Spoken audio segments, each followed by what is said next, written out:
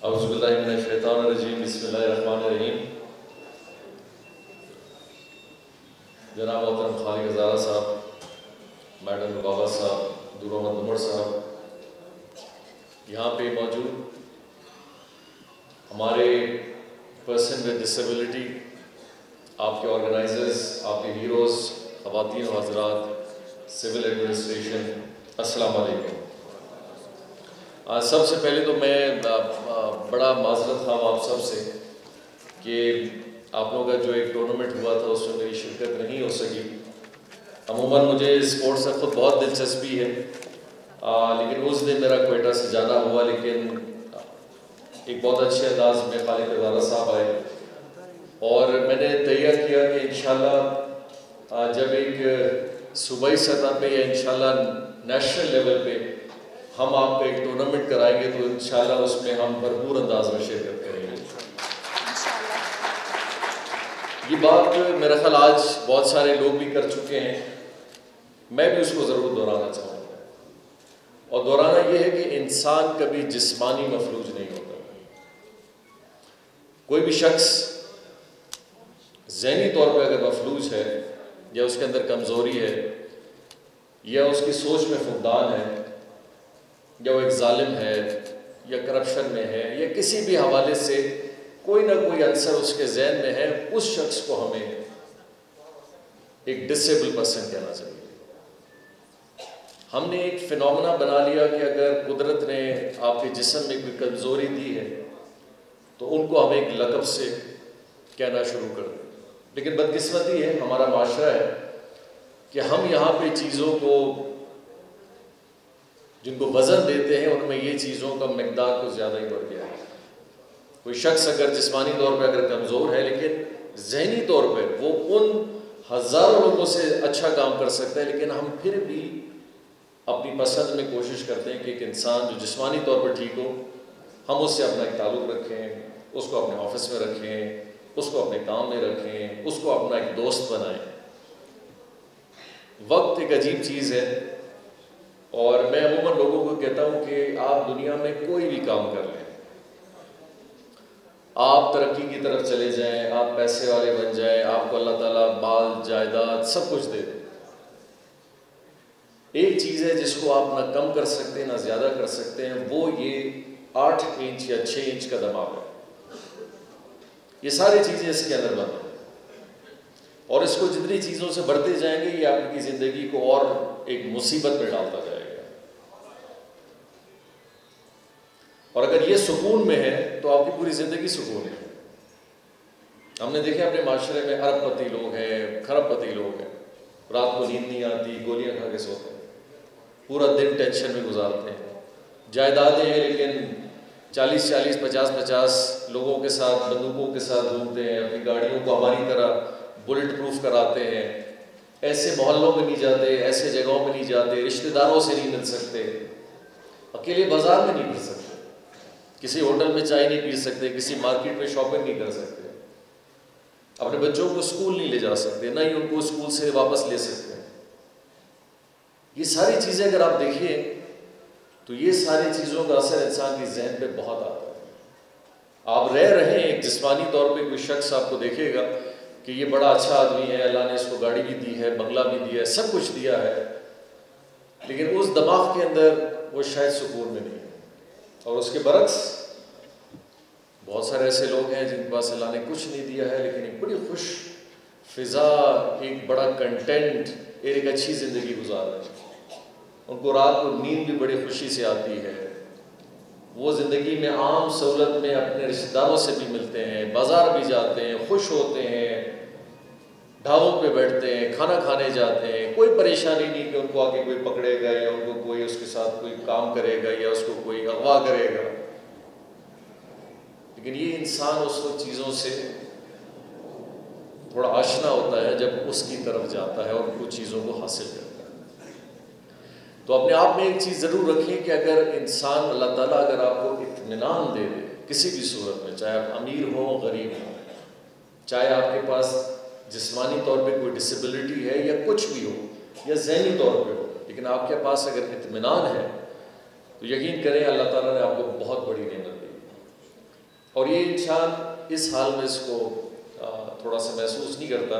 जो जो आप ज़िंदगी में अपने बुढ़ापे की तरफ़ जाएँगे, फिर आपको एहसास होता जाएगा कि ये एक बहुत बड़ी नेमत है। मैं इसके साथ साथ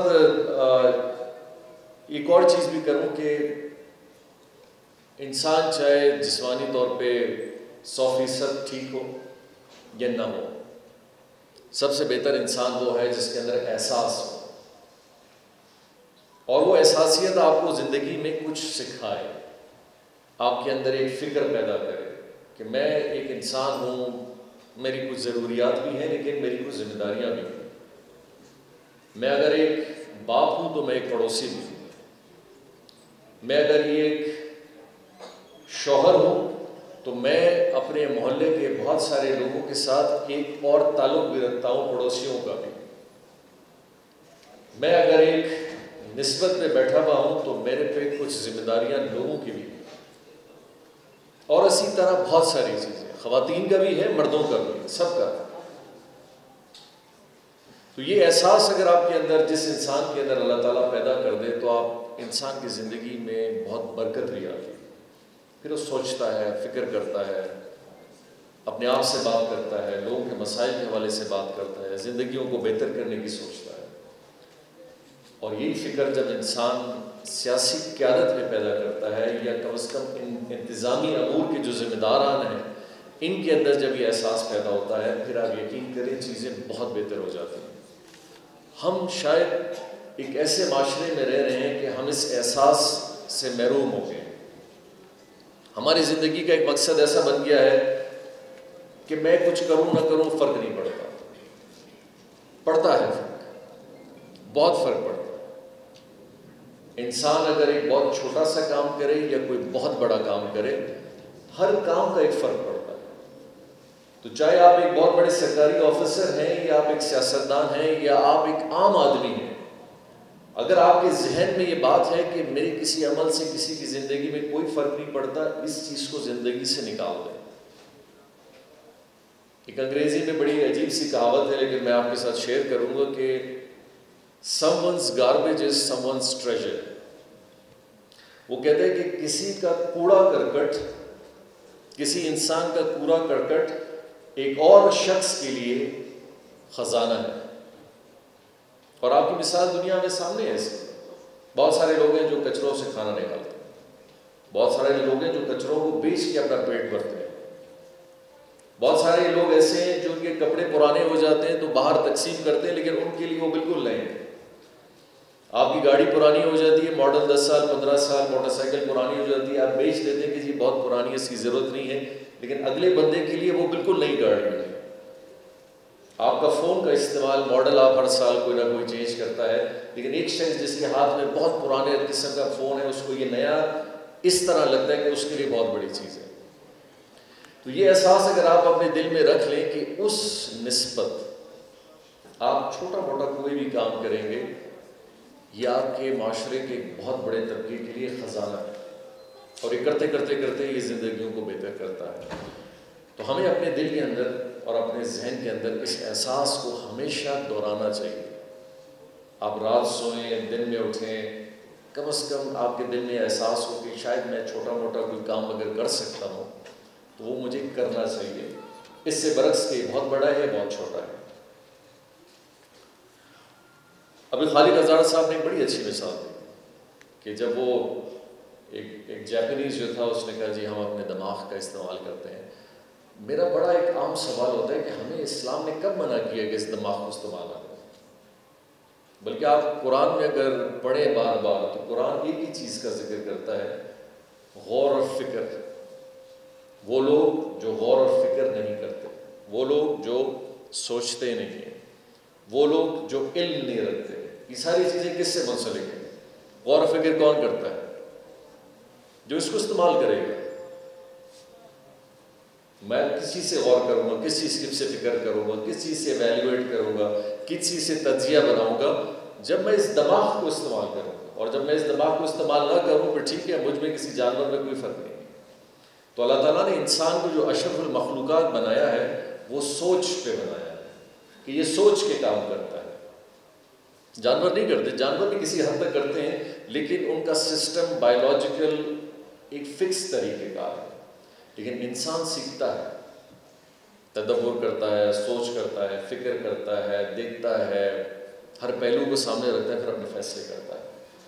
और हम मुसलमानों के लिए बहुत ज़रूरी है। हम लोगों के लिए, हम इस माशरे में रहने वाले हर शख्स के लिए, चाहे वो किसी भी मज़हब से ताल्लुक़ रखते हों या किसी भी तबके फ़िक्र से ताल्लुक़ रखते हों, कि हमें एक बड़ा अच्छा तरीका मिला है कि हम हर चीज़ के बारे में भी गौर व फ़िक्र करें। और जहाँ आप करेंगे, आप चीज़ों को बेहतर होता नज़र देखेंगे। दो चीज़ें देखिए इसके साथ। सोच और फ़िक्र रखें, और अगर अल्लाह ताला ने आपको इसके साथ एहसास दे दिया, और फिर अमल करने का एक तरीक़ेकार दे दिया, इससे बड़ा कोई काम नहीं हमारी एक बड़े अच्छे दीनी दोस्त थे तो मैं उनसे कभी कभी ऐसे गपशप करता था। तो मुझसे उन्होंने एक बड़ी अजीब बात की एक दिन। कहा कि जहाँ साहब, आपके साथ ना नफलों का सवाल जवाब होगा, ना कुरान पढ़ने का होगा, ना रोज़ों का होगा। आपसे पूछ गछ होगी जिस ज़िम्मेदारी पे अल्लाह ने आपको बिठाया है। वो आपने कैसे किया? बोले, ये बाकी काम सारे हमारे क्योंकि हम मस्जिद में बैठते रहते हैं, हमें कोई काम नहीं है तो हम नमाज़ भी पढ़ते हैं, नफल भी पढ़ते हैं, कुरान भी पढ़ते हैं, सिखाते भी हैं। लेकिन जो लोग मनसब पे बैठते हैं, उनसे बहुत पूछ गए तो खासकर मुझसे और आपसे जो फ्रंट रो पे जितने बैठे हैं आप सबसे सवाल जवाब और बड़ा सख्त होगा और अगर हमने उस काम में कम अज़ कम एहसास रखते हुए भी अगर कदम हुआ तो शायद मेरे आपकी बख्शिश हो जाए। ज़रूरी नहीं कि सौ फ़ीसद हर इंसान हर काम कर सकता है। लेकिन अगर आपके अंदर ये नीयत भी है कि मैंने अपने काम से लोगों की भलाई के लिए कुछ करना है, सिर्फ़ ये भी सोच लें, शायद इसकी वजह से भी आपकी बख्शिश हो जाए। लेकिन अगर ये एहसास ही दिल में नहीं कि नहीं जी, मैं ज़रूरी नहीं, मैं ऐसे बरी जमा मुझे तो लोगों ने वोट दिया है, या मुझे तो नौकरी मिली है, मैं तो अपने बलबूते पे किसी पोस्ट पे है जो भी चीज़ है, ज़िम्मेदारी आपकी है और आपसे पूछा जाएगा। और उसके साथ इंसाफ का तरीका यही है कि हर दिन एक फ़िक्र हो कि इस मनसब के साथ हमें इंसाफ करना है। किन के लिए करना है? जो पीछे बैठे वो जिस हॉल से बाहर बैठे वो जो मेरे और आपकी नज़र में भी नहीं है, वो जो इस बात के इंतज़ार में कि हमारे लिए कुछ ना कुछ होगा। ये हमारी ज़िम्मेदारी है और आप लोग दुआ करें कि हम इस ज़िम्मेदारी को एक ऐसे अंदाज में पूरा कर सकें और इसके लिए अपना काम कर सकें। मैं कुछ इन चीज़ों के लिए हवाले से आऊँगा कि वो वैसे वो बड़े बात कर रहे हैं। आजकल वैसे बड़ा बड़ा चलता भी है कि ट्विटर पे सीएम है और व्हाट्सएप पर सीएम है। मैं लोगों से हंस, मुझे हँसी आती है इस बात मैं उनको कहता हूँ, देखिए ट्विटर और व्हाट्सएप जो है एक रबता है। पुराने ज़माने में लोग ख़त से काम करवाते थे, टेलीफोन उठाते थे, पैगाम भेजते थे। टेक्नोलॉजी है उसने आसान कर दिया। मैं और आप शायद आजकल कितने लोग एक दूसरे को खत लिखते हैं? कितने लोग अपने दावतें जो है वो ख़तों के थ्रू आप भेजते हैं? कितने लोग आपस में एक ख़ानदानी तौर पे एक दूसरे के साथ गपशप, बातचीत मेल मलापा बाकी अन्य तरीक़ों से करते हैं। आजकल सब कुछ ये टेक्नोलॉजी के थ्रू होता है। आपने फैमिली के ग्रुप बनाए हुए हैं, आपने दोस्तों के ग्रुप बनाए हुए हैं, आपने अपने कारोबार के ग्रुप बनाए हुए हैं, आपने दुनिया के पुराने क्लासों में दोस्त रहे क्लास टू वाले अलग ग्रुप हैं क्लास फाइव के अलग हैं मैट्रिक में पढ़े कॉलेजेस में पढ़े। ये टेक्नोलॉजी आपको एक सहूलत देती है कि इसको इस्तेमाल करके चीज़ों को आसान करें। और अगर उस चीज़ से आपकी काम में बेहतरी आती है तो उसको आपको बिल्कुल करना चाहिए। मेरे लिए ट्विटर एक सिर्फ़ फोरम है, जहाँ मैं आपसे रिलेट करता हूँ, और कुछ नहीं। और वो उससे मैं बहुत सारी चीज़ें, मुझे पता चलती हैं। कमेंट्स देते हैं, खुशी का इजहार करते हैं, अफसोस का करते हैं सजेशन देते हैं लाइक करते हैं। क्योंकि हमारे लिए बड़ा ज़रूरी है कि जो काम हम आपके लिए कर रहे हैं, वो कितना फ़ीसद आपको फ़ायदा दे रहे नहीं दे रहे अगर एक लीडरशिप और एक सरबरा किसी इदारे का अगर उसको पता नहीं है तो वो अंधेरे में और दूसरा लोगों को बताना भी चाहिए हमारे माशरे में इतनी नेगेटिविटी इतनी फैल गई है कि हर आदमी, हर जगह, हर कोई ऐसी गमगीन चीज़ सोचता है। तो वैसे मैं मैं अगर यहाँ पूरे दिन की अगर हम गमगीन महफिलें अगर सजाए रखें तो यहाँ से जब आप जाएँगे तो आप सारे भी गमगीन होंगे कि जी कोई उम्मीद नहीं है तो हर चीज़ ही ख़राब है। लेकिन उम्मीद अच्छाई की भी नज़र आए। शायद एक आदमी बोलेगा, जी, मेरे लिए काम, मेरे मोहल्ले में अगर नहीं हुआ, लेकिन फ़िलहाल के मोहल्ले में एक रोड अच्छी बन गई है। फ़िलहाल के मोहल्ले में पानी की स्कीम आ गई तो इन मेरे लिए भी आएगी सो ये उम्मीदें हैं जो इंसान को ज़िंदा रखती हैं, खुश भी रखती हैं। और मैं कहूँगा कि ज़िया ने इस हवाले से जो आप लोगों का एक पर्सन विद डिसबिलिटीज़ का एक जो आपकी पूरी टीम ने, बाकी भी जो दोस्त हैं जो हमारे से रबता रखते हैं, जो शुरू किया है, ये बहुत कम हमने किया है। हमें इसमें बहुत ज़्यादा करना चाहिए। एक बड़ा अच्छा सोशल वेलफेयर के साथ एक प्रोग्राम बनाया कि ये मोटरसाइकिल्स ट्राई मोटरसाइकिल्स देने चाहिए। इस तरह इंशाल्लाह हम बलूचिस्तान में एक चिंची का भी ला रहे हैं कि जो लोगों को एक रोज़गार भी दे सके। अब एक आदमी अगर वो पर्सन भी डिसेबल है, अगर उसको एक चिंची मिल जाती है और वो दिन में तकरीबन कम से कम भी, जो मैंने सुना है, हालाँकि बहुत ज़्यादा है, कम से कम भी है, वो कम से कम पाँच हज़ार से छः हज़ार फिर भी कमा सकता है। ऐसे भी लोग हैं। सीमेंट ले जा रहे हैं, सरिया ले जा रहे हैं, बच्चों को स्कूल ले जा रहे हैं, छोटा एंबुलेंस भी है अपनी फैमिली को सुबह स्कूल भी छोड़ने जा रहा है फ्राइडे के दिन जुम्मा की नमाज़ के लिए जा रहा है, किसी पार्क में जा रहा है कहाँ भी ले जा रहा है, वो एक छोटी सी गाड़ी उसके लिए सब कुछ है। पहले उसके लिए नहीं था।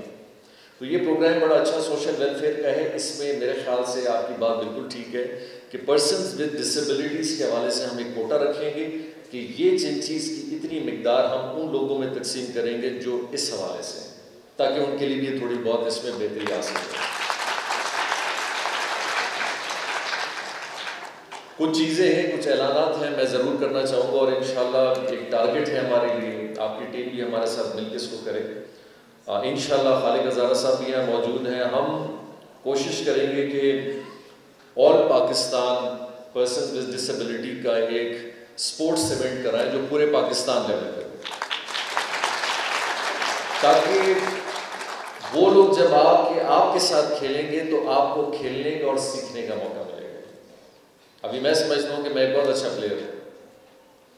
क्योंकि मैं इसीलिए अच्छा प्लेयर हूँ कि मैं आपके साथ खेल रहा हूँ। अब सिंध से पंजाब से के से, कहीं और से गिलगित से आता है कोई और हमारे साथ खेलता है तो हम कहेंगे नहीं ये तो हमसे बहुत आगे है। किन चीज़ों में आगे? फ़िलहाल स्किल में आगे। इन्होंने ये बॉक्सिंग हमसे अच्छा जानते हैं। आपकी फ़ील्ड में। बाकियों की मैं नहीं बात कर रहा तो वो ऑटोमेटिकली आपको एक कंपटीशन मोड में ले आएगा कि अच्छा जी, अब हम, ये क्यों हमसे अच्छा है? जैसे कि आपने कहा कि जी, इसीलिए अच्छा है कि उनके पास स्पोर्ट्स व्हील चेयर है, हमारे पास नहीं है। तो स्पोर्ट्स व्हील चेयर स्पोर्ट्स के लिए बनी हुई है, उसके अंदर परफॉर्मेंस थोड़ी अच्छी होती है। तो मैं इंशाल्लाह आपके लिए वो भी ऐलान करता हूँ कि हम आपके लिए स्पोर्ट्स व्हील भी खरीदेंगे। और जो आपके तीस, चालीस, पचास अच्छे प्लेयर्स हैं, उनके साथ इसको तकसीम किया जाएगा। एक और चीज़ है जो, जिसके हवाले से आपने बैन का ज़िक्र किया डिसेबल का। मेरे तो जहन में एक और भी आइडिया था, लेकिन मैं देखूँगा वो हो कैसे सकता है। कि हमारे शहर में ऐसे लोग अगर एक जगह से दूसरी जगह जा सके, उनके पास कोई पब्लिक ट्रांसपोर्ट भी नहीं है। हमने पहली दफ़ा भी बलूचिस्तान में एक ख़वातीन के लिए एक शुरू कर रहे हैं कि एक बस सर्विस जो सिर्फ़ ख़वातीन के लिए होगी और एक उसके साथ मर्द हजरात और बाकी मिक्स भी है। लेकिन हमें कुछ रूट्स पे पीपल विद स्पेशल डिसेबिलिटीज़ के लिए भी एक सर्विस प्रोवाइड करनी चाहिए। कि उनको पता हो कि हम कम अज़ कम पब्लिक ट्रांसपोर्ट में कहीं जाना चाहें, कोई एयरपोर्ट जाना चाहता है, कुछ लाख जाना चाहता है, सरियाब जाना चाहता है, नवा किली जाना चाहता है, अगर उसके पास गाड़ी नहीं और अगर उसके पास ट्राई मोटरसाइकिल भी है, लेकिन एक बहुत बड़ा रिस्क भी है तो एक ऐसी फैसिलिटी बस सर्विस की भी होनी चाहिए। हम उस पर थोड़ा तरीक़ेकार करेंगे कि वो बनेगी कैसे, क्योंकि उसकी रिक्वायरमेंट थोड़ी मुख्तलिफ़ होगी, लेकिन करेंगे इन ज़रूर इसको भी। एक इंशाल्लाह पीपल विद डिसेबिलिटी मैं बल्कि एक और बात का आपको बताना चलूँ कि हमारी जो जितनी भी प्लानिंग है गवर्नमेंट की, जो हमारी गवर्नमेंट जब से आई, हर बिल्डिंग जो स्कूल बन रहा हो कॉलेज बन रहा हो पॉलिटेक्निक हो बीआरसी हो हॉस्पिटल हो पार्क हो, कोई भी फैसिलिटी हो, हमने उनको बड़े क्लियर इंस्ट्रक्शंस दिए हैं कि आपने लोगों के लिए एक्सेस जो रस्ते का है पीपल विद डिसेबिलिटीज़ का एक प्लेटफॉर्म्स अलग सबके बनाने, ताकि वो सारे लोग इन इदारों में, इन फैसिलिटीज़ में उसी तरह जा सकें जिस तरह मैं और आप जाते हैं। थोड़ी बहुत हमने उसकी शुरुआत की है, बल्कि आप कह सकते हैं कि बलूचिस्तान का पहला पार्क, जिसके पूरे अंदर अगर आप डिसेबल लोग अगर जा सकते हैं, वो हमने स्पेशली उसी हवाले से बनाई है। वो ग्वादर का सनसेट पार्क है। और मैंने ज़िया को कहा था कि आप प्रोग्राम बनाएँ, कि आपके तकरीबन एक ग्रुप हो तो उस पार्क को देख के भी आए। न सिर्फ़ वो, उसमें आपकी डिसेबिलिटी के हवाले से आप उस पूरे पार्क को एंजॉय करेंगे, बल्कि मैं कहता हूँ कि दुनिया के अगर 10-15 सीनिक पार्क मैं सीनिक पार्क की बात कर रहा हूँ, कि जहाँ अगर आप उस पार्क में खड़े हो तो आपको अपने तकरीबन 300 डिग्री पे समंदर नज़र आता है। और ऊंचाई से नज़र आता है। तो ऐसे बड़े कम सीनिक पार्क हैं। तो आप लोग प्रोग्राम बनाएँ और उस पार्क को एंजॉय भी कीजिएगा एक प्रोग्राम हमारा और भी है वो हेल्थ कार्ड का है। आ, वो health card universal health card है लेकिन आ, मैं अभी थोड़ी देर जब बात कर रहा था आ, मेरे ख्याल से हमें आ, एक बड़ा फोकस कार्ड बनाना चाहिए। और वो कार्ड होना चाहिए पर्सनस विद डिसबिलिटीज़ के लिए। और उनका हेल्थ कार्ड हो कि उनकी मदद हो सके। और फिर सालाना उसमें जो भी एक रकम हम डाल सकते हैं आपके लिए आ, उस हवाले से उसका एक यूजेज हो उसको और बढ़ाया भी जा सकता है बेहतर भी किया जा सकता है। आ, मैं एक बार आ, आ, ये देखिए ये सारी चीज़ें हैं जो हमें वैसे भी करनी चाहिए। मैं उस बात की गहराई में नहीं जाता कि हमसे ये क्यों नहीं हुई? मैं तो अमूमन जहाँ भी बैठता हूँ ये सवाल रखता हूँ, बहुत सारे लोग इसको माइंड भी करते हैं, लेकिन मैं बताता हूँ बार बार के ये सारी चीज़ें हुकूमत बलुचिस्तान अगर हम करेंगे, ये 500 ट्राई साइकिल्स हमें किसी ने डोनेट नहीं की। अगर ये पार्क अगर हमने आपके लिए बना रहे हैं तो हमें कोई डोनेट नहीं कर रहा। अगर हम ये स्कूल्स कॉलेजेस ये स्पोर्ट्स कॉम्प्लेक्सेस तैंतीस बहुत बड़े स्पोर्ट्स कॉम्प्लेक्सेस हम बलूचिस्तान में बनाने जा रहे हैं, हुकूमत बलूचिस्तान अपने फंड से बना रही है। तो ये माजी में हमेशा एक नारा लगा है, एक स्लोगन लगा है कि कोई काम ना करो और इसका इल्ज़ाम किसी और पे लगा दो। सबसे अच्छा फॉर्मूला है। जी, आप स्कूल क्यों नहीं बना सकते? जी, वफाक ने हमारे साथ मदद की। जी, आप अस्पताल क्यों ठीक नहीं कर सके? जी, वफाक ने मदद नहीं की आपने पार्क क्यों नहीं बनाया? जी, वफाक ने नहीं तो मैं उनसे कभी कभी सवाल करता हूँ कि इन चीज़ों के लिए वफाक का तो कोई काम नहीं है। हाँ ये हमारी नालायकी समझ लें, हमारी कमज़ोरी समझ लें कि हम खुद नहीं कर सके। क्योंकि हमारे हुकूमत के निज़ाम में एक बहुत बड़ी कमज़ोरी माजी में रही है, इसे हमें तस्लीम करना चाहिए कि हमने अपनी तरक्की का अंसर सिर्फ़ चंद डिपार्टमेंट्स को बनाया। ये पाँच डिपार्टमेंट में हुकूमत बलूचिस्तान के पैसे खर्च होंगे, इसके अलावा किसी पे नहीं होंगे। मैं ख़वान की आपको मिसाल देता हूँ। पहली दफ़ा है कि ख़वान का एक डेढ़ साल में एक बाकायदा वेमेन डेवलपमेंट का एक प्रोजेक्ट बहुत बड़ा चल रहा है, जो हर डिस्ट्रिक्ट और हर डिविजनल लेवल पे चल रहा है। जहाँ इंक्यूबेशन सेंटर्स हम बना रहे हैं, उनके लिए बिज़नेस सेंटर बना रहे हैं, उनके लिए वेमेन हॉस्टल्स बना रहे हैं, उनके लिए वेमेन बाज़ार बना रहे हैं, ताकि सिर्फ़ ख़वान के हवाले से नारा लगाना काफ़ी नहीं कि जी ख़वान के हकूक़ हम दे दें। ख़वान के हकूक़ आप उस वक्त देंगे जब उस खातून को आप कुछ स्किल डेवलपमेंट करेंगे, कुछ उसको मौका देंगे अब एक खातून अपनी फैमिली के साथ किसी डिस्ट्रिक्ट में नौकरी में जाती है, उनके पास घर नहीं है। वो काम नहीं कर सकते। डॉक्टर हैं टीचर हैं, बाकी सिविल सर्वेंट्स हैं। वो अगर किसी एक जगह पे अपने फ़ंक्शन सिर्फ़ खातन का बिज़नेस हवाले से एन के हवाले से करना चाहते हैं, जगह नहीं उनके पास। तो बहुत सारी ऐसी चीज़ें हैं जो हमने अपने माशरे में नहीं की और हमें किसी ने बंद भी नहीं किया। तो ये है एक गवर्नेंस के हवाले से जो मैं बार बार लोगों को कहता हूँ कि अब वो चीज़ आ गई, हमें हर चीज़ करनी चाहिए। हमने पिछले कई सालों में अपने सूबे के साथ ठीक है, कुछ हालात यहाँ के ख़राब थे, लेकिन उन हालात को मज़ीद ख़राब करने में हमने भी कोई कसर नहीं छोड़ी। अपने काम हो, हमारी पॉलिसी हो, हमारे प्लान्स हो, हमारा तरीक़ेकार हो, ये सारी चीज़ें हम खुद कर सकते हैं। हाँ आप बोलेंगे, जी, अभी बहुत बड़ा डैम बनाना है जो साठ अरब रुपए का कोयटा से लेके कुछ लाख से लेके कराची का रोड बनाना ये अलग बात है। आपने एक बहुत बड़ा एयरपोर्ट बनाना है। या आपने अगर एक बहुत बड़ा पोर्ट बनाना है, ये वफाक करेगी। लेकिन इन कामों के अलावा कोई ऐसी चीज़ नहीं है कि जो कोई एक सूबाई हुकूमत खुद नहीं कर सकती, बिल्कुल कर सकती है। लेकिन शर्त यह है, करे, सही करे और उन पैसों को ज़ाया ना करें। ये सारी चीज़ें मुमकिन आपकी ज़िंदगी बेहतर हो सकती है। इन सारी चीज़ों को हम करेंगे कि आम इंसान की ज़िंदगी को बेहतर करना है सो मैं आपका बड़ा मशहूर हूँ। आप लोग माशाल्लाह बहुत देर से यहाँ बैठे हैं।